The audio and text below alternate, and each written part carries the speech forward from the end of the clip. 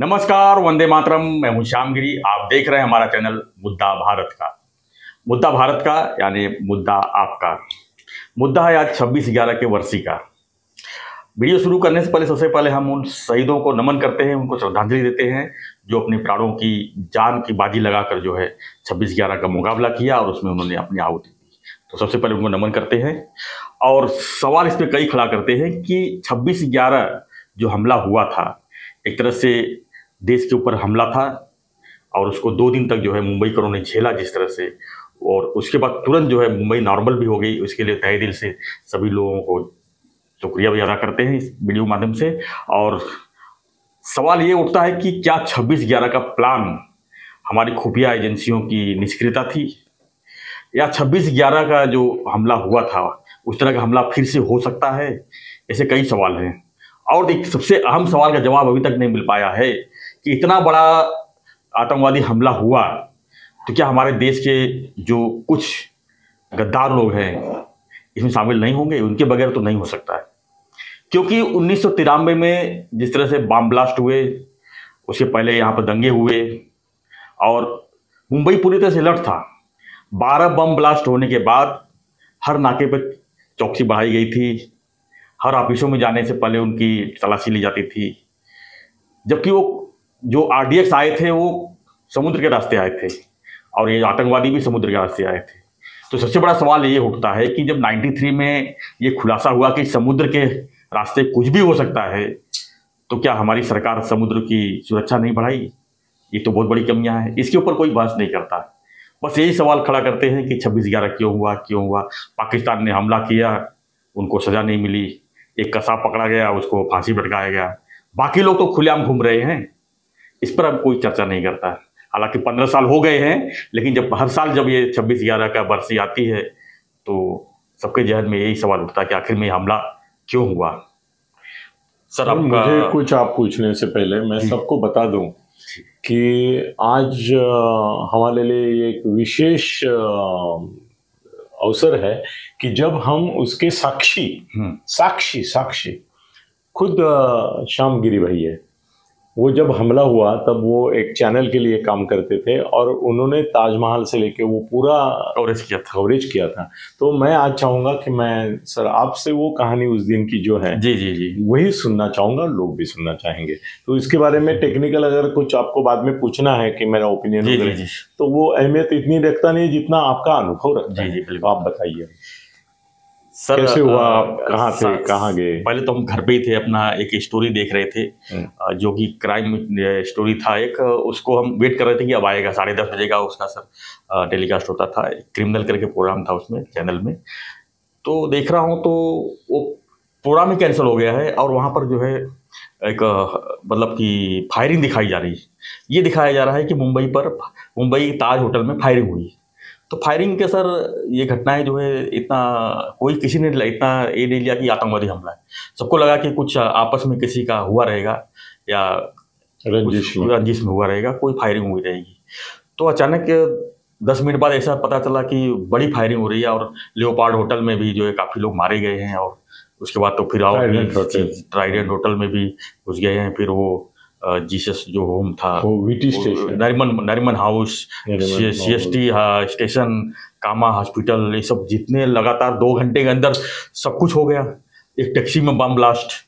तो ये सब चीज़ होने के बाद मतलब कि ऐसा लगे क्या हो गया मुंबई में? अचानक इतने बड़े हमले और किसी को पता नहीं किसी को इसकी जानकारी नहीं किसी को पूरी सूचना नहीं और इतना बड़ा हमला हो गया और सबसे बड़ी बात की जो हमारे पास पुलिस के हथियार थे वो फेल हो रहे थे और सब शहीद हो रहे थे सर ये बहुत बड़ी विडम्बना है हमारे एक तरह से फेलियर है हमारे सिस्टम की कि जिस तरह देखा आपने कि सीएसटी स्टेशन पर हम्म। वो झूलन क्या नाम था जू कांस्टेबल जो राइफल से फायरिंग करा फायरिंग नहीं हो रही है। तो इस तरह की चीज़ें देखने बाद मैं खुद जो है उस रात तो नहीं गया लेकिन अर्ली मॉर्निंग में निकला यहाँ से थाने से। हाँ, और वहाँ पहुँचा पहुँचा वहाँ पर तो हम सीधा ताज पहुँचे। सीधा ताज पहुँचा। लेकिन पैनिक जिस तरह से थी ट्रेन के अंदर हो ट्रेन से गया मैं क्योंकि वहाँ गाड़ियाँ कहाँ खड़े करेंगे क्या नहीं। तो ट्रेन में इतनी पैनिक और कहीं कोई कुछ भी सुनाई दे रहा है और सब रूमर के थ्रू सब भाग रहे इधर उधर। उधर से आ रहे दो जन, उधर से दो जन आ रहे इस तरह का रूमर रूमर इतने थे कि सर, कि उसकी वजह से लोग कितने परेशानी थी। भाग रहे इधर उधर। तो और मोटरमैन ने जो सीएसटी के पास मैं जब वहाँ पहुँचा तो उसके बाद मोटरमैन ने डिक्लेयर किया कि हम ट्रेन नहीं चलाएँगे, क्योंकि कुछ भी हो सकता है। क्योंकि सी एस पर हमला हो चुका था और, उसके बाद फिर हम वहाँ से पैदल ही जो है ताज होटल गए वहाँ पर। वहाँ का हालत देखा मैंने होटल के अंदर से सर ग्रेनेड बाहर फेंके जा रहे थे।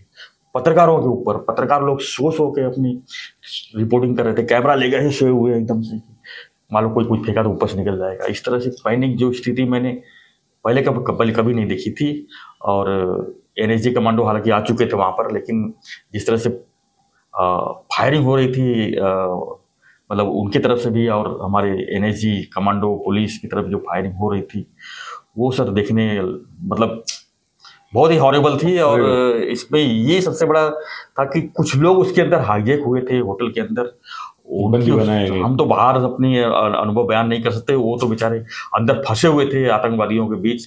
वो निकल नहीं पा रहे थे उनको फायर ब्रिगेड की मदद से या किसी तरह उनको बाहर निकाला जा रहा था लेकिन उनको निकलने के बाद भी हम किसी तरह से कुछ कुछ लोगों से मिले भी लेकिन कोई बोलने की हालत में नहीं था। लेकिन जिस तरह से वो दस बारह घंटा वो लोग वहाँ पर अंदर बिता के जो आए थे और बहुत ही हॉरेबल सीन था सर लेकिन इस कैसे भी हो लेकिन मुंबई पुलिस ने उसको फाइट किया और कुछ जवान को भी गंवाए कुछ ऑफिसर चले गए यहाँ से। विजय सालस्कर जी मेरे काफ़ी काफ़ी करीबी दोस्त थे मेरे और उनका पता चला कि वो चले गए फिर कामटे साहब तीनों को और हेमंत करकरे जी जो मुझे लगता है सर इन लोगों ने भी लाइटली लिया उस फायरिंग को और जिस तरह से वहाँ पर जाना चाहिए था वहाँ हम्म। पूरे फोर्स साथ नहीं गए वो। इनको अकेले जाने की ज़रूरत नहीं थी मेरे ख्याल से और उसका शिकार हो गए वो। तो तो प्राण की बाजी लगा गए ही थे लेकिन इतना आसानी से इतनी आसानी से शिकार हो गए वो बहुत ही विडम्बना वाली बात है। सर आप क्या कहेंगे कि इतनी बड़ी साजिश रची गई और उसके पहले रेकी भी हुई कुछ लोगों के नाम भी आए हेडली जैसे लोग आके रेकी करके छः छः महीना यहाँ से यहाँ पर आके गए हैं और पूरा फ़ोटो और कैसे क्या करना प्लानिंग करके गए और किसी को कानों कान खबर नहीं पड़ी हम्म। और कितनी बड़ी विफलता दिखाया तो मेरे ख्याल से किसी भी देश में इस तरह के देखने को नहीं मिल सकती है कि उन्होंने सक्सेसफुल छब्बीस से ग्यारह करके गए और हमारी यंत्रणा खुफिया यंत्रणा और हमारे जो जाबाज लोग जो है खाली तमाशा देखते रह गए और किसी तरह जो है उन लोगों की खात्मा कर सके आपको क्या लगता है कि इसमें यहाँ के लोगों तो देखो हम मुंबई की बात करते हैं। जी। मगर संसद के ऊपर हमला हुआ कहाँ? इंटेलिजेंस को पता था कि हमला होने वाला अफजल गुरु और उनके ये सब इन लोगों ने किया। संसद अभी खत्म ही हो गया मामला। एक बार आपकी संसद के ऊपर हमला हो सकता है जी। तो अपनी सार्वभौमता और सुरक्षा और इसका कोई मायना ही नहीं रहा। तो संसद पे हमला हुआ तो यह हमला उस तुलना में अलग हो जाता है मामला। तो हमारे इंटेलिजेंस फेलियर है मगर ऐसा उनको बोलने जाते हैं तो हमास ने तो पूरा इसराइल में घुस के मारा हाँ। हज़ारों लोगों को मार दिया पाँच हज़ार रॉकेट डाले और इसराइल की इतना फेल है तो हाँ तीन साल तक वो तैयारी कर रहे थे। जी। फिर भी इनको पता नहीं हॉस्पिटल के बेसमेंट में उनकी पूरी तैयारी हो रही है हाँ, पता नहीं चलता तो इसराइल अगर फेल होता है इंटेलिजेंस में तो हमारा फेल्यूर हम इवेल्यूशन क्या करेंगे? उसके बारे में क्या बोलेंगे? ट्विन टावर्स गिर गए। हाँ। अमेरिका में। इंटेलिजेंस को पता नहीं। उन्होंने तो विमान हाईजैक कर करके ठोके ना। तो इंटेलिजेंस को कहाँ पता चला? नहीं पता नहीं पता चलता। तो दुनिया भर के कितने भी देश ताकतवर हो कितने भी अत्याधुनिक हथियार हो यंत्रणा हो तो सब अतिरेकी दहशतवादी जो है उनका जो एक ये रहता है कि हम मर जाएँगे और मारेंगे। उनका वही मकसद ही रहता है। हाँ तो वो उनके सामने वो हदबल हो जाते हैं। तो इसराइल का और अमेरिका का उदाहरण सामने है। तो क्या उदाहरण बोला कि ताजमहल के इसमें आप खुद देखे सब। वैसे वो ट्विन टॉर जब गिरा तब तो वहाँ पे मेरा एक रिलेटिव था। मैं थोड़ा दूर था नसीब से और उसने वो टॉवर पूरा गिरता हुआ देखा और फिर भाग गया। उसके उसने वीडियो भी निकाला था भेजा था हमको कि I was very much there थोड़ा मैं अंदर जाता था तो वहीं पे काम था ट्विन टावर में बच गया। जी जी जी। तो मगर दुनिया में सब ऐसा होता है तो अभी रशिया कितना जी। पक्का देश है वहाँ पे उनके ही जो प्राइवेट सेना थी उन्होंने ही मान्यता दी हुई। वो तो क्रेमलिन के ऊपर चल गए। और पच्चीस पचास हज़ार सैनिक लेके चले हाँ। उनको मारने के लिए पुतिन को और इनको। तो पुतिन फेल हो गया। सर चाइना में अभी अभी कितने बॉम्ब स्फोट और ये हो रहे वहाँ पे। तो वहाँ भी वो चाइना नहीं रोक पा रही है। तो ये सर हमारे इंटेलिजेंस को भी हम कहाँ तक दोष दें अभी मेरे समझ भी नहीं आ रहा है। अगर इनकी भी फेल्यूर है तो तो सर जिस तरह से फेलियर आप बता रहे सकते मगर होता आप, है आप फेलियर जिस तरह से बता रहे हैं और हो भी रहा है तो क्या लगता है छब्बीस ग्यारह जैसा फिर हमले पॉसिबल नहीं है? हो जाएँगे ना हो जाएँगे। उससे बड़े हमले होंगे। जी।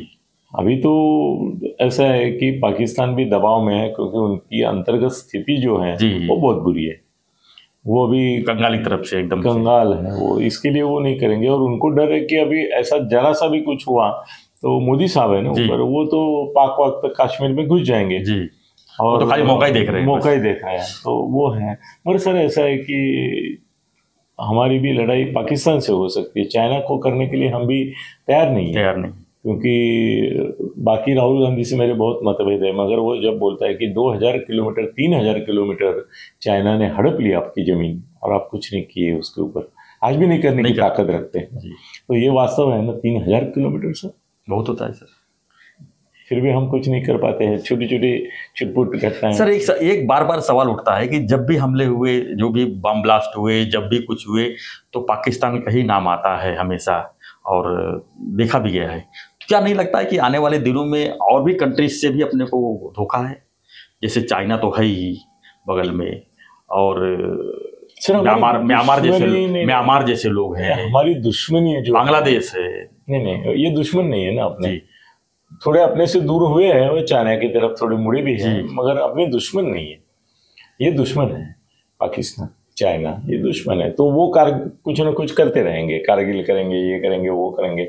और उनको क्या है ना मिलिट्री लड़ सकती है मगर पुलिस को जिस प्रकार से वो पकड़ते अनअवेयर वो नहीं रोक सकते। कभी भी हाजरा में बॉम्ब स्फोट होने के बाद भी ये हुआ ना। बॉम्ब स्फोट से हम क्या सीखे? अभी। इससे भी क्या सीखे? क्या सीखा? आज लोकमत में उन्होंने पहले पेज पे कवर स्टोरी दी है। वो बोले कहीं कोई सुरक्षा का पता नहीं। हाँ। आप पूरे मुंबई छान के आओ आपको कौन रोक अभी अतिरिक्त के आने की ज़रूरत नहीं है रास्ते पे कोई भी किसी को भी ये कर रहा है अभी। मार रहा है ये रहा है तो मतलब क्या बोले अभी? इसका सर इसका तो मैं कारण ये कहूँगा कि लोगों को कानून का डर नहीं सबसे बड़ी लोग क्या सर ये अतिरिक्त है दहशतवादी उनको नहीं, कानून का डर होता है ही ही, नहीं है ना। उनको सर कानून का डर क्या होगा मरने के लिए निकले। जी।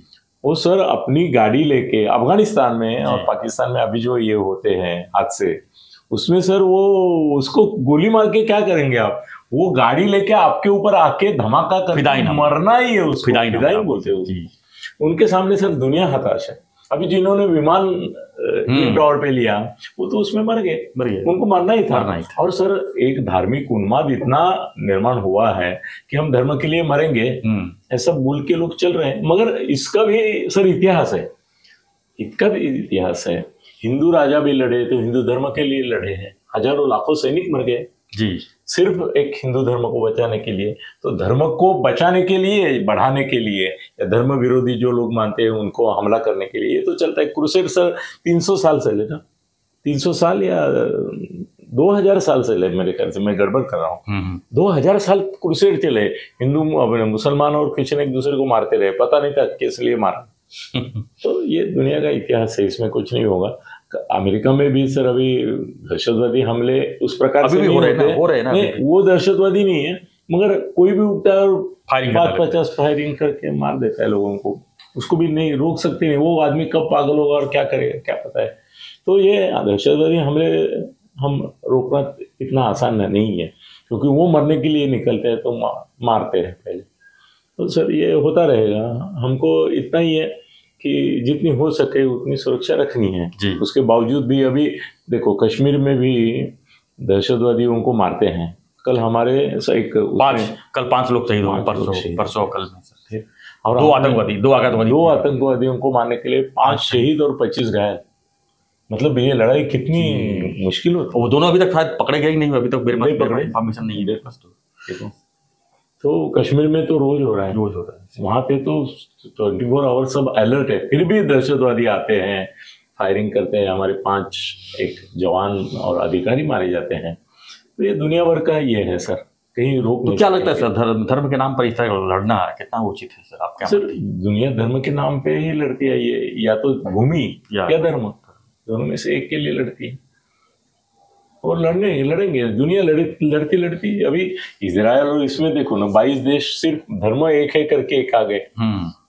बाईस मुस्लिम देश एक साथ हो गए ना और क्रिश्चियन देश एक साथ हो गए। तो ये क्रिश्चियन और मुसलमानों की लड़ाई फिर से भड़क गई ना। जी।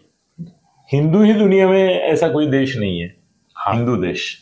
हमारा हिंदू राष्ट्र हो सकता है तो अगर आदित्यनाथ बन गए प्रधानमंत्री तो हो सकता है। मोदी नहीं बनाएँगे। वो उनके हित में भी नहीं है हिंदू राष्ट्र बनाना हिंदू राष्ट्र की चर्चा करना उनके हित में है बनाना हित में नहीं है। और अभी चौबीस के पहले अगर उस प्रकार का कुछ किया तो और भी सर एक सवाल मेरे अंदर बार बार पूछता है कि जो छब्बीस ग्यारह हुआ उसी पर वापस आते हैं तो क्या लगता है कि यहाँ के लोग नहीं उनके साथ में शामिल रहे होंगे? तो होता ही है ना। कश्मीर में भी पत्थर वाले लड़के थे ना जी। जो हमारी मिलिट्री को मारते थे। अब महाराष्ट्र में जैसे पुलिस के ऊपर ही हमले होते हैं। वैसे कश्मीर में भी पुलिस के ऊपर ही हमले होते थे। पब्लिक आके उनको ही मारती थी। हमने देखा क्योंकि वहाँ से कोई अगर रेकी करने भी आता है तो उसको ताज होटल क्या है कहाँ मालूम नहीं। नहीं नहीं कहाँ है मालूम? मदद करती। तो मदद होती है ना। सब सर पास देखो इस राष्ट्र में जी। भारत में जितने परकीय आक्रमण हुए वो सब अपने ही राजाओं ने उनका साथ देके अपने ही हम्म। राजाओं का पतन किया। ऐसा एक भी आक्रमक नहीं है जो देश में आया। और अपने बलबूते पर आगे बढ़ा स्थानिक राजा उनको मदद करके दूसरे अपने ही राजाओं की बैंड बजाते रहे। तभी तो भारत का इतिहास जो है वो ब्रिटिश आए उनको मदद किसने की? इन्होंने की। उनकी सेना में लोग कौन से? सर दस हज़ार इंग्रज लोगों ने तीस कोटी लोगों पे राज किया। वो कैसे किया? हमारी सेना थी ना हमारी लोग थे तो अभी उनको हम गद्दार बोलेंगे। उस समय वो तो सैनिक थे। सैनिक थे। उनके। और दूसरे महायुद्ध में जितने ब्रिटिश सैनिक नहीं मरे उतने हिंदुस्तानी मरे। इंग्लैंड के लिए लड़ने के लिए। जी। क्या बोले अभी ये दुनिया ऐसी है सर। बोलिए। आपका अनुभव आपने ज़्यादा डिटेल में नहीं बताया मगर मेरे को बहुत नाट्यपूर्ण आप जो देखा उसका ये था। अनुभव बताया सर। मतलब चारों तरफ़ जो है पैनिक जिस तरह से थी और मतलब हमले हो रहे थे ताज और ओबेराय और नरिमन हाउस जगह हुए थे। लेकिन जब सीएसटी स्टेशन पर जो हमला हुआ उसकी वजह से जो है मतलब और भी आतंकवादी हो सकते क्योंकि किसी को नहीं पता था कि दस ही। है हम्म। और भी हाँ, आतंक क्योंकि टैक्सी में भी बम ब्लास्ट हुआ। उसके कई एक जगह स्टेशन बम भी मिला ज़िंदा बम मिला। तो लोगों को ऐसा लग रहा था कि और भी लोग हो सकते हैं। और कहीं से भी कुछ कोई दौड़ते हुए आया था नहीं आतंकवादी है। एक सवाल का जवाब मिल गया। मैंने बोला कि वो कसाब की खटला जो था जी। वो कितने सालों तक चला उसको बिरयानी खिलाते थे क्या करते थे? तो मैंने बोला उसको उमड़े ने पकड़ा। जी। उसको मार क्यों नहीं दिया? उसी समय। वो सर आ, उनको निकलवाना था कि आखिर में लोग क्या है? उनको प्रूफ चाहिए था कि कहाँ से आए हैं कौन इनके पीछे का संबंध भी प्रूफ करने के लिए और कौन इनके पीछे कौन इनके पीछे है? कोई एक तो चाहिए था ना जो हाँ, कि बता सके पाकिस्तान का अब क्योंकि सबके हाथ में सर रक्षा बना हुआ था तो पहले तो यही सोच रहे हिंदू संगठन के लोग हैं। हम्म, क्योंकि यहाँ कांग्रेस सरकार थी सर सेंट्रल में भी और महाराष्ट्र में भी हम्म, मुंबई हम्म, तो पहले तो ये मालेगांव ब्लास्ट का भी ऐसा वैसे हुआ। ना सर। वो बाद में हिंदू तो- लोगों को पकड़ा। कसाब अगर नहीं पकड़ा जाता तो शायद कुछ लोग बोलते भी। हाँ कि तो हिंदू वाला लोग क्योंकि नाम ही नहीं मिलता तो कैसे करते हैं हम्म, नहीं नहीं बराबर है। वो तो कसाब को पकड़ा कसाब करके पकड़ा, तो पाकिस्तान का नाम आया, और मुझे बाद में में, बताया किसी ने कि लखवी का नाम आया और- ज़रूरी था। हाँ जी। और ज़िंदा रखना भी ज़रूरी था। उसको बाकायदा फांसी ही देना चाहिए। वो तो देना था। और वो दी बड़ी बात हो गई बात तो संसद के हमले पर वो अफजल गुरु को तो फांसी देते देते सुप्रीम कोर्ट ने भी हस्तक्षेप किया था। और सुशील कुमार और तो चुपचाप ले आके पे लगे चुपचाप ले जाके फांसी दे दिया। वो अच्छी बात हुई क्योंकि हम्म। नहीं तो कोई सुप्रीम कोर्ट रात घुस जाता रात को बजे भाई उसको फांसी मत दो यहाँ तो बहुत हो गया समर्थक भी हैं। हम्म। अभी उस सर अभी तो ऐसा है कि देश में या तो लोग हिंदू राष्ट्रवादी हैं जी। या राष्ट्र के विरुद्ध है। ऐसा ही दो ही मामला दो ही लोग हो गए हैं। जाने दो उसके बारे में अलग से बोलेंगे। चलो ठीक। ठीक है सर हम एक बात फिर से जो है श्रद्धांजलि देते हुए जो हमारे जाबाज शहीद लोगों को श्रद्धांजलि देते हैं और अपनी वीडियो यहीं खत्म करते हुए रिक्वेस्ट करते हैं कि चैनल को सब्सक्राइब कीजिए और हम जो है अलग अलग मुद्दों पर जो है आप तक वीडियो पहुंचाते रहे। आज जरा थोड़ा सा मैं भी नरमी में अभी बज रहे कितना दो बजे जी। बज रहे मैं एक दस मिनट पहले उठा हूँ। बहुत तबीयत नहीं ठीक खराब है। बहुत खराब है। मैं तो जैसे अं- बेड से उठा मैं इधर आके बैठा हूँ कि इनकी निष्ठा मैं जानता हूँ। तो थोड़ा क्षमा कीजिए थोड़ा हो जाएगा एक दो दिन और लगेंगे। ठीक है ठीक है। धन्यवाद जय हिंद जय भारत।